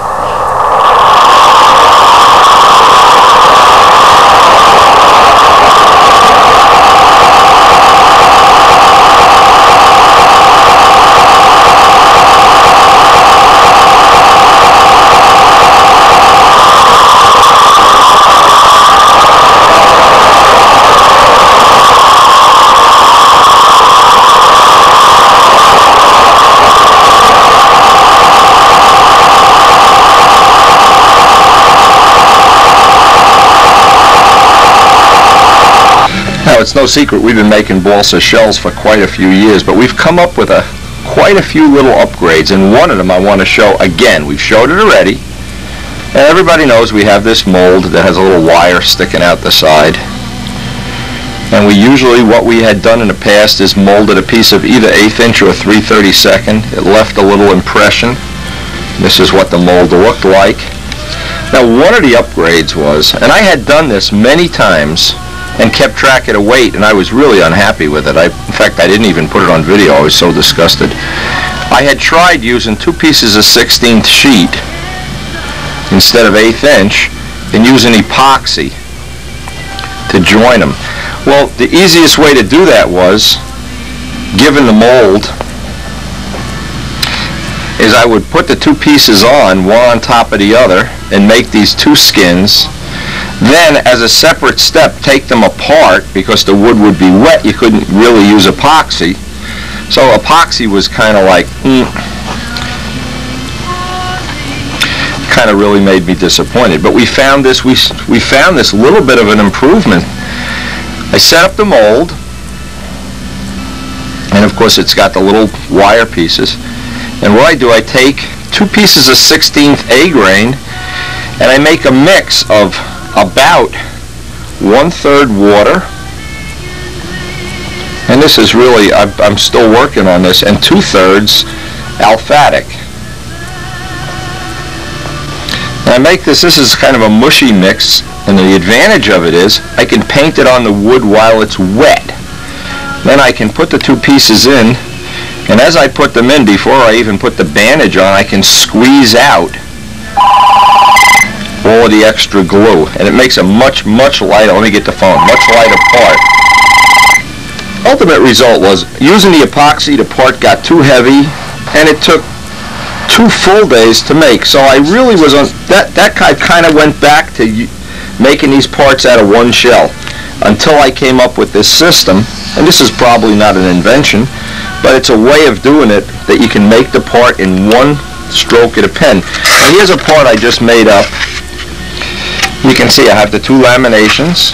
It's dry already. I went over and weighed it. And this is the lightest of all the shells I've ever made, the laminated ones. And I did try making, of course we have the line in here, we have to trim them and whatnot.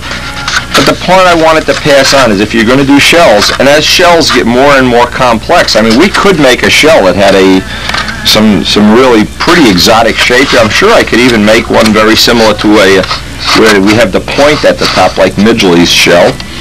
But the point is, what I learned, and it was really a significant thing here, was taking this, and the next time I do one, I'll do one up on camera, was one-third aliphatic, one-third water, two-thirds aliphatic. Now, the reason I'm putting this on the tape now is very soon, I'm going to start making a tail. And you know that little leading edge piece for the tail? Well, I've always made that out of 16th balsa. And one of the problems is, you know, if you don't get a piece of really nice A grain and, it, and you don't really wet it out, yeah, the bend can be less than perfect. But what I'm going to try as a little experiment, I'm going to make the piece out of two pieces of 32nd. I have some really nice 32nd A grain, and I'm going to put that, this aliphatic, and this can be the tail. In fact, what I'm going to do is probably just put it all on one dedicated tape, because we're trying to make a tape that's going to replace the tail tape for the people that buy Cardinal kits. We've certainly made enough upgrades to that, but this was one of my little thoughts was to make that that tail piece. It would just be, a, every time you can chip away and get a couple of grams here, a couple of grams there, the overall plane gets lighter. In this case, the parts like this the parts are stronger and lighter at the same time, and it's, to me, it's a significant upgrade over the way we were doing things. and this is real important. I guess you could use saran wrap. You could probably use wax paper. The reason you want to have this is the aliphatic, when it's thinned and it's squeezed out, sometimes some will bleed through and actually you don't want to glue the part to the mold.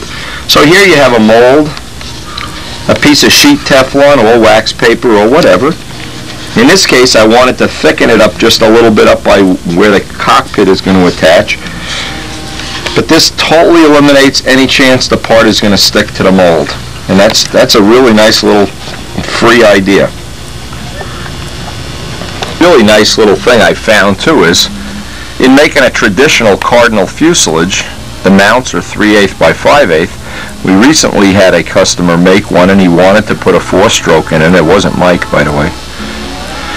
And he wanted a special shell made because he was going to use half-inch square mounts. And I said, well, gee whiz, that's no problem. I need to add an eighth of an inch to the shape, the mold. So what I did is I just laminated two pieces of eighth inch, and you can do this. Now, the advantage would have been, had I done it in terms of sixteenths, what I could have done is laminated four pieces of 16th. You see where I'm going with this? And then I thought, well, how nice would this be? Rather than glue them together, this is really a, really a good idea. The new fuselage would have been a little bit wider. You could have had these like like the telescoping pieces of tubing and just pick the two that actually just matched up as close as possible. Pick the two that you need, the one that matches to the outside, one the next size in. What I'm saying is you could have an infinitely variable width and thickness in certain parts. and the nice thing is, without ever carving another mold, you'd still work off of the same basic mold. You can run an infinite amount of thicknesses relative to when you're thickening up the fuselage. I mean, there's a certain amount you can just bow this, but, but at some point in time it, it doesn't look right. Anyway, those are the little upgrades we've made. Going to finish off this shell for the customer and move on with our project, our labor of love. Find it easier when I'm going to trim the shells to pick up that line just by imposing a, a, a pen line on and that gives me an, an edge to work my knife off. Just, just easier than trying to pick it up when it doesn't have the pen line on. I don't know if you can see this. Pretty much every person I've ever shown how to make a shell or helped them make a shell or however you want to define it, they, it doesn't take long and they can see the merits and how much more fun modeling is when you don't have to carve a block every time you build a plane. If you can use some interchangeable parts, and our car manufacturers do that. If you look at doors for a Mercury and a Ford, they're usually interchangeable. They just change the cosmetics. So you can carry this on and to whatever level you really like. Other little tip, and, I, and what I'm trying to do with each video is is just put in any little trick I learn that makes it easier. Now, I found using these thin razors, one-edge razors, better than using the traditional blades, number 11 blades or 26 ways, because they're thinner. And when the aliphatic resin is in there, you really have to be careful because it's a little more difficult than just cutting into a piece of regular A grain. And then the last step, of course, and I leave the line on to, to the most certain extent. But once I get this whole piece broken off, and this will come right off, then this is ready for the sanding block. Now usually it doesn't take long. I'm being very cautious. I just want to sand the last little bit of the the line that's on there.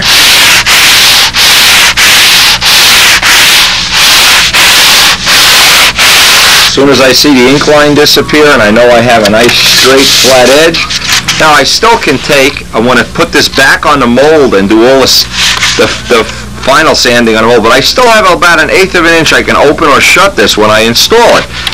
It's just that it's not unlimited. When you want to make a bigger shell, you just need to make one piece, you could actually use this for the shell.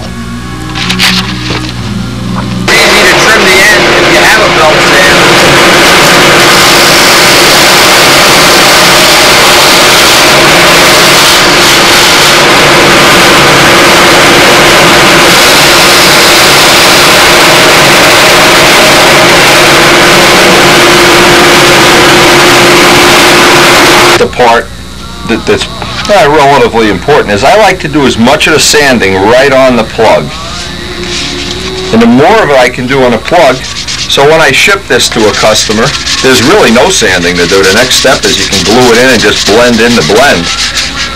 But if you do it right on the mold, you'll see that your line lines up. You know you're gonna have a parallel straight line.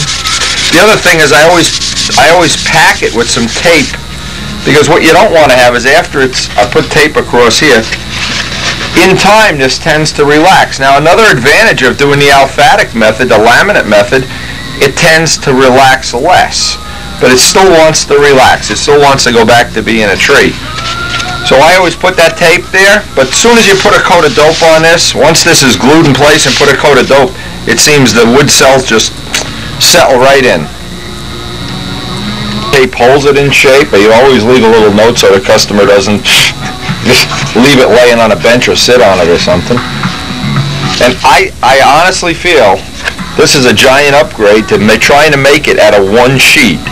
At a one sheet, they always used to split at the back. Uh, this is an upgrade, and it's worth knowing if you're going to do your own shells.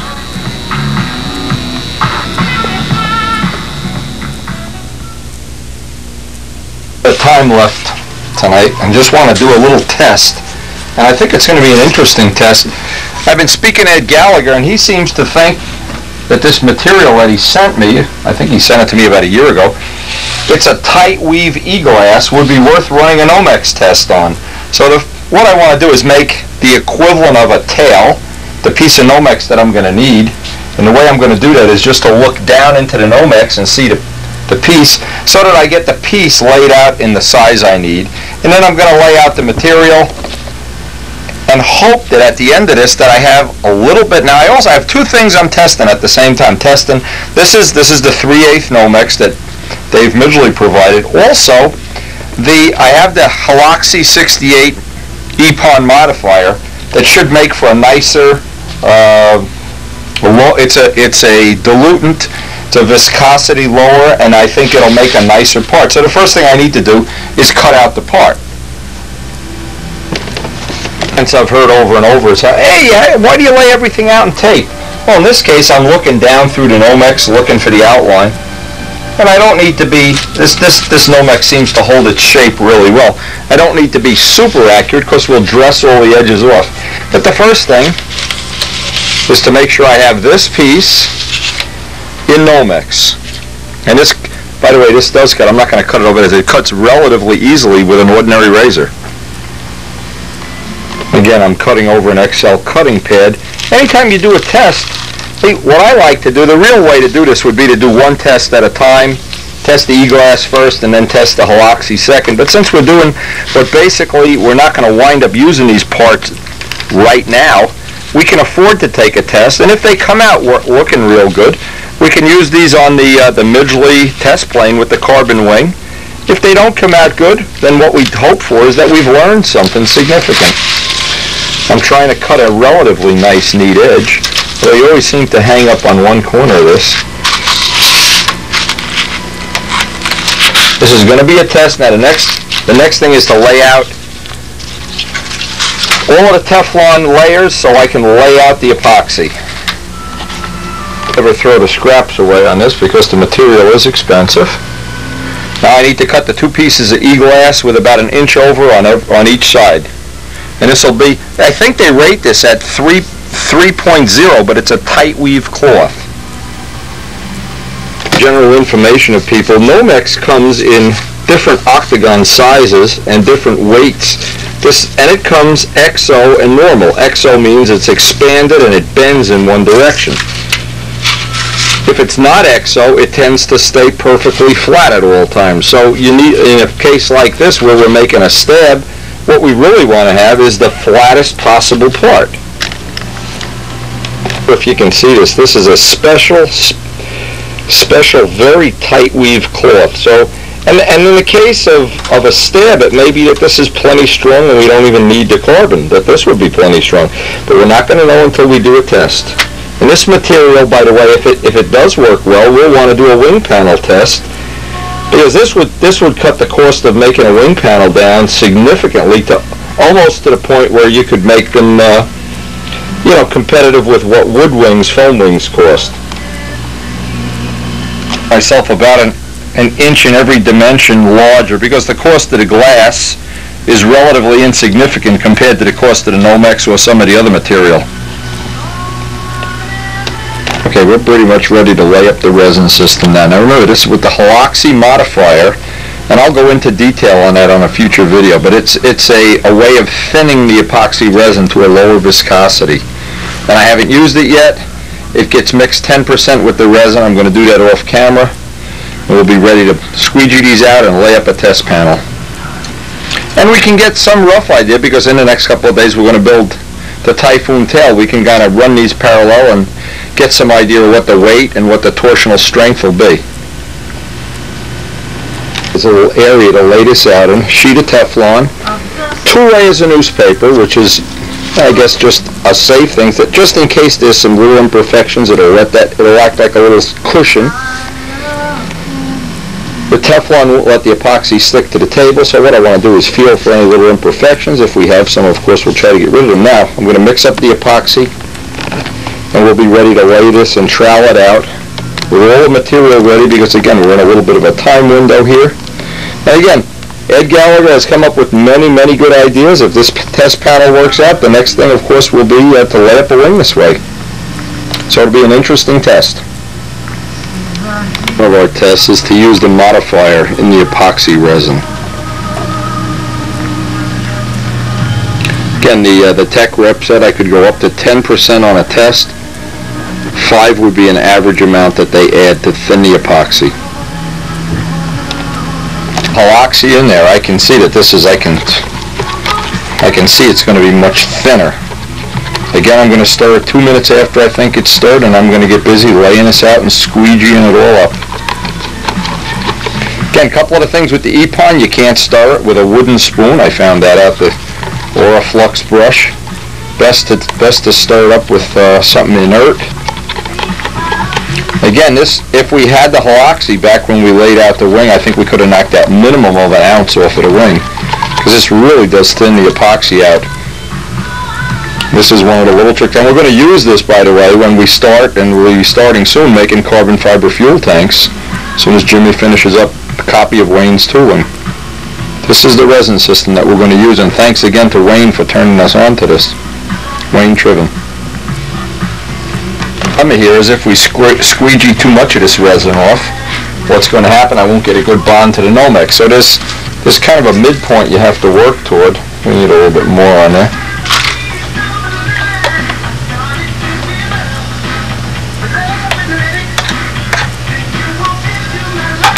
But if this, if this does prove to be a good test, it's going to open the door to a lot of new possibilities that at least worth trying. And again, anything Ed Gallagher has ever told me, pretty much, he has a good handle on this stuff.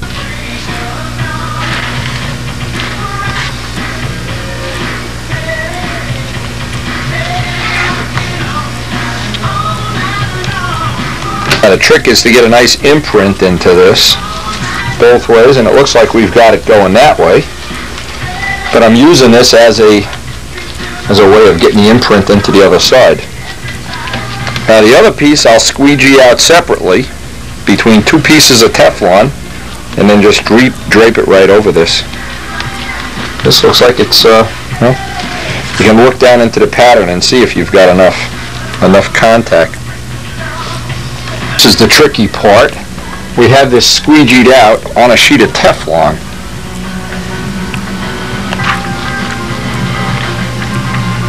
Without a way of joining this, of course, ooh, I missed a spot. Looks like I missed a spot on the end.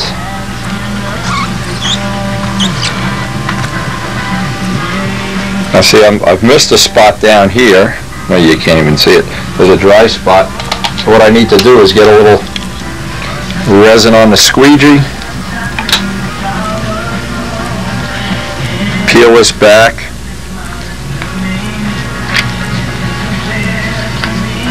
And I think in the future what I think I'll do is make it two inches bigger on each side. Just give me a, I don't have to be as accurate then.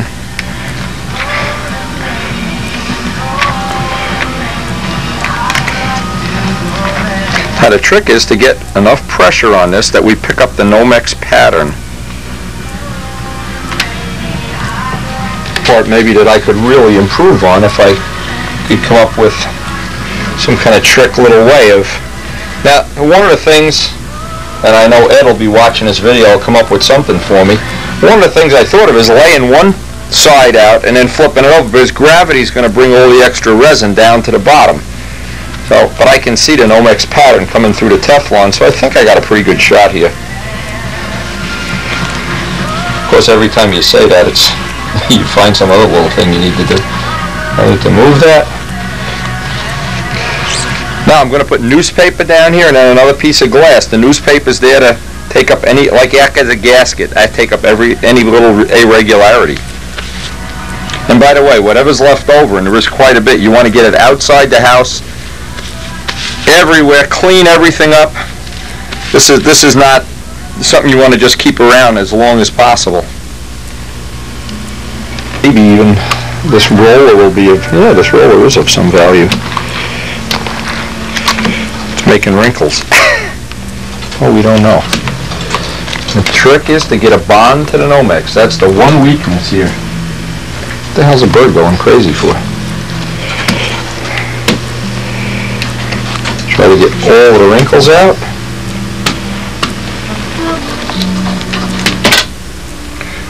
Some newspaper on here.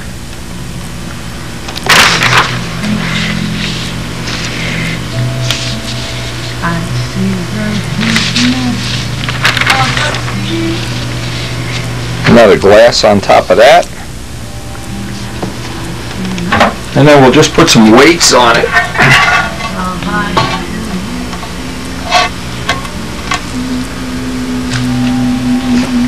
What's handy here is the piece of newspaper hopefully will take up any of the in inaccuracies in it.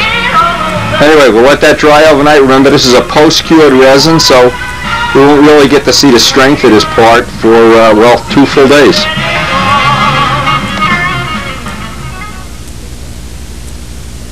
I still have a little bit of time. See, I never want to waste any time. It's that old time management thing. So I can take out my little template. I have a template for making the ribs, a template for making the elevator ribs, and I know I need pretty much 25 or 30 of each to take into account. A few of them will probably break. But I won't waste any of this time. Even a half hour here, a half hour there, it all adds up easy to figure out. We have a stab template made out of 16th plywood. This will appear on the airplane's plans along with the other templates. What we're looking for here is C grain. C grain all ribs. The best C grain we have since there's so little wood. It isn't really important, I don't think, to get the lightest piece, but for sure, we want to use as much C grain in this tail as we possibly can. I just work off the template. I always make myself four or five extra ribs in case I break them. But what I'm trying to do is put what amounts to be a kit together. So all the parts are ready when it comes time to build a tail. And for that day, we'll try to clear the work deck here. We usually can knock it out in one or at worst two days. Now, this morning I pulled off the cover of this. I wanted to see if, if we want to have that. Let's see, we just look at it from a couple different angles. Looks looks relatively good. Well, we sure we're certainly not going to know until we actually physically make a part. But at least that's one test that we have kind of in the bank here now. Next thing we're going to do on this, and I'm not going to do it right now, we'll do it at uh, a future time, is make a test panel out of this. And then when it comes time to make to actually make the tail, then I can I can at least look at it and compare and see if I've got any gain, any loss. But that's one little experiment I wanted to do, and I wanted to do it for Ed Gallagher's benefit, just to see. And it looks like this certainly is a doable way of doing things with this cloth. Again, we got this from, uh, this is an Ed Gallagher idea. Anyway, one more experiment, one more little bit of data in the data bank.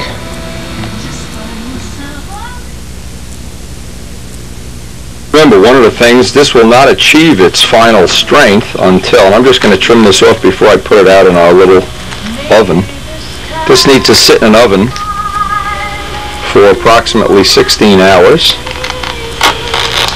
Now I just want to trim the extra off. Once this is out there, this means tomorrow or the next day actually, we could start making up a prototype tail and if it, if it looks promising, I'm just thinking of something, I wouldn't plan on this, we could use this on uh, the Midgley prototype. Again, it trims right off. And you can see, just get some idea what a nice finish that is. Of course, it has that honeycomb look that, uh, I guess the B-2 bomber or whatever has, but you certainly, if, if you were gonna make a plane, you could put dye in this. See, here's one of the choices you have. You could put dye in here. And this would for sure, you could make it white, red, or yellow, or whatever, and it would have that little dimpled effect. I don't know how much, how hard it would be to sand that out. That's another thing. But again, you have a lot of choices here. Once I trim this off, I want to get this in the oven as soon as possible. And by the way, another thing, we had that, the original problem with the, uh, just looking at some of the resin that's on here, the, the original problem with the EPON where we stirred it with a wood stick, well, now that we've done it kind of like uh, the proper way, it's perfect. It looks real good anyway.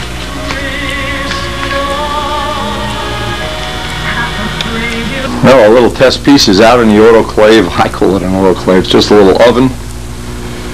And it's going to sit out here at about 140 degrees for 16 hours. That's the next step.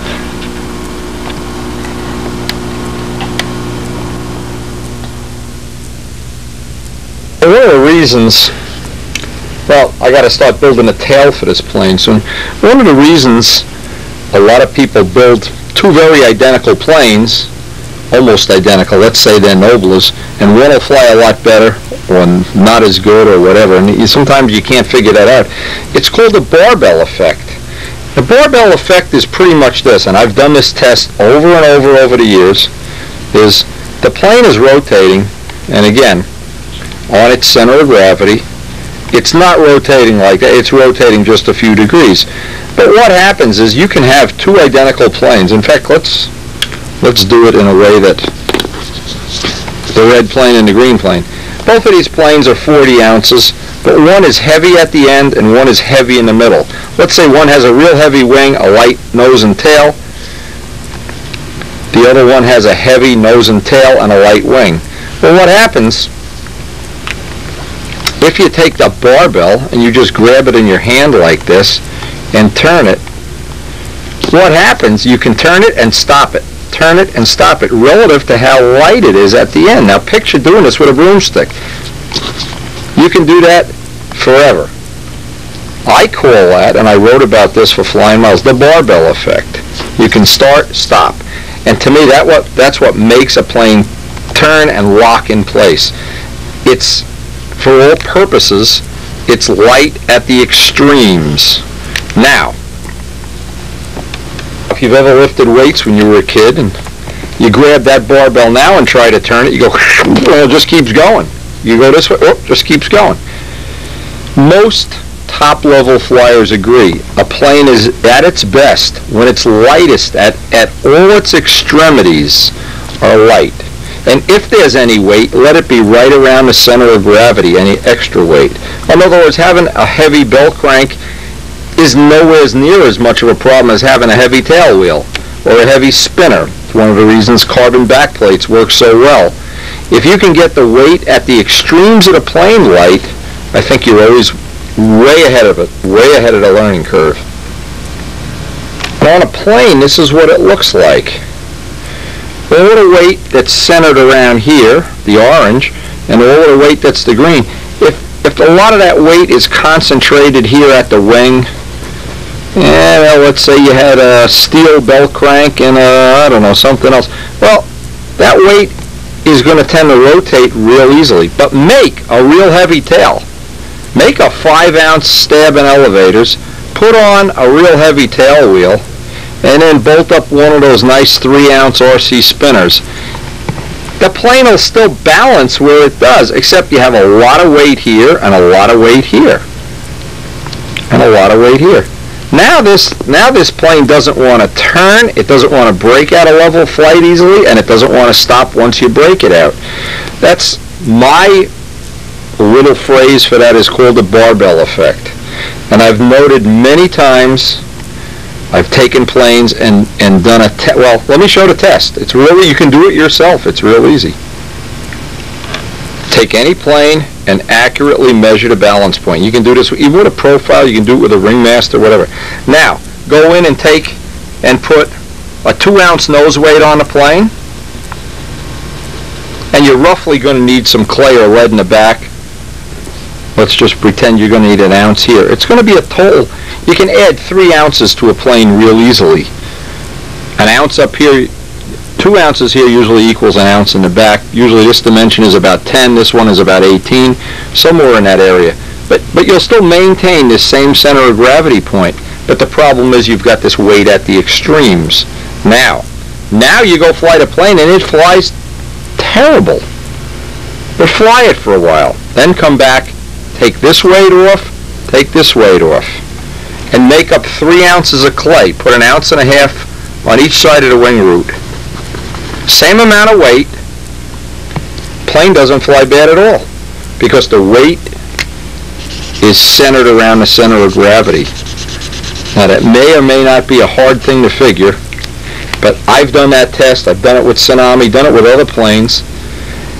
Anytime you get that weight out at the end, performance really deteriorates. Now, what does this mean for us? What it means is we're going to be building a tail for this plane next. What we're going to try to make is that as light a tail as possible, and we have a very a short nose moment arm. So even though this weight may be in a couple ounces heavier, it's closer to the fulcrum. So what the combination of a real light tail, and we are really going to spend time the next couple days building up a light tail. We want a real light tail and a short nose. We'll still have the same center of gravity, but we should have a very a short nose and a light tail. We should have an incredibly good barbell effect. Now think of that barbell effect when you, you build your next tail. Anyway, we're going to be starting a tail soon. Joe Adamusco is also coming up for a visit with his Mr. Awesome. It's already been totally retrofitted with a Saito 72, new cowling mods and different things up in the nose. Again, the barbell effect. It really is a significant thing, and it's good to understand it when you start out building a plane. Again, thanks a lot for joining us. Hope some of this information will help you enjoy the hobby a lot more. Please share the tapes.